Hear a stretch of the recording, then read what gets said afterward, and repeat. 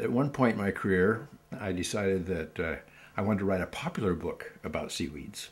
So I wrote this little book called Pacific Seaweeds, and I really enjoyed writing it. It was so much fun because I could kind of just go to the edge or the margin of truth, you know, kind of push the story a little, a little bit uh, to make it interesting for the reader. And I found it made it very interesting for me.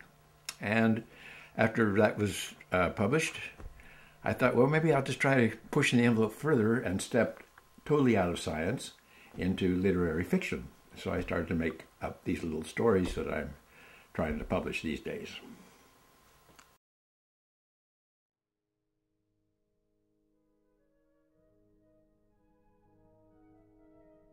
I took some workshops with established writers um, once I discovered that I really enjoyed doing it.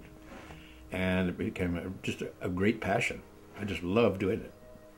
And some people say, well, kind of too bad you didn't start earlier.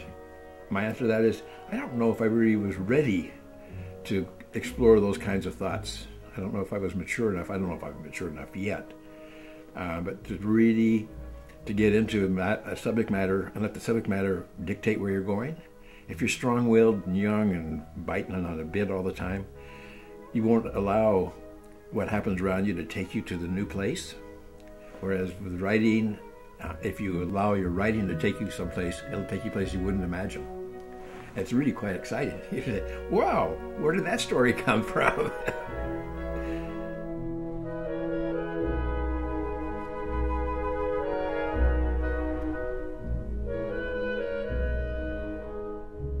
so my neighbor, uh, John David George Boom, house is right over here. Um, and I, he and I were very, very close friends. And uh, we had lots of fun, uh, had lots of hijinks together. And uh, one day, or one evening, he got in a boat and went out uh, to visit a friend in the islands. And it was winter, and he fell out of the boat. And he died of hypothermia. And this was 10 years, 10 or 11 years ago. And uh, it really moved me. I keep sitting here now, I keep thinking, well, he'll come around that corner any time now in his boat. And he's such a, his, his character is so, so, he's a wonderful character, right? Uh, he's really quite a screwed up guy, but he's a wonderful character, just like everybody else out here, right? Anyway, um, that more or less motivated me. And so I, I just kind of started off with, I got a hold, in fact, what I, the way I started that was formally, I got a hold of the coroner's report on how he died, and I read it, and I said, well, that's not right. So I started making fiction on how he died. And so the, the first title of the book was The Three Lives and Three Deaths of John David George Boone. So he had different, he was the academic, you know, marine biologist, who was the entrepreneur, and maybe he sold a little grass on the side or something like that. So he had these different lives. And uh, and he had some romances which got him into kind of some kind of trouble. So there lots of reasons he could die. I mean, besides accident. Um, so this this book explores that.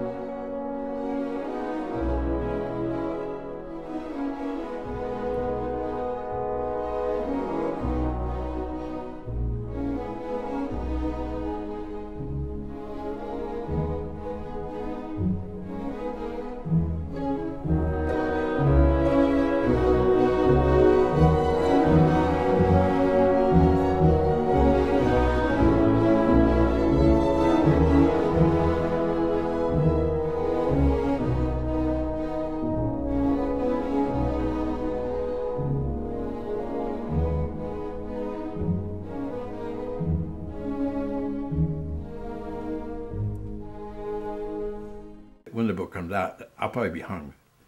Because I didn't even bother to change names. I thought, well, why even bother? Because everybody out here will be able to figure out who I'm talking about, no matter what the name is. And uh, if you're if you're not from here, it doesn't matter what the name is.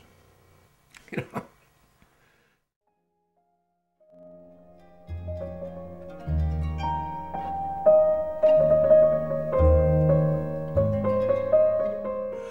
Come with me over the shining sea, and kelping we will go. We will frolic in a bed so brown, out where the waves crash so. The kelp their delicate tendrils reach up, as if they wish to speak, calling to you, my darling, so as to fetch you a siren sleek. Oh, fear not, my Kelpie Valentine, the Kelp Express will come to your aid. Its yellow hull and mate so tall can make this danger fade. It has been said about kelp by a Kelpie starlet without thinking twice. They smell so good, they sound so good, and oh, they feel so nice. Never has such a phrase been turned that could be so strongly smitten. Let's get away from all this slimy kelp, and you be my Valentine kitten.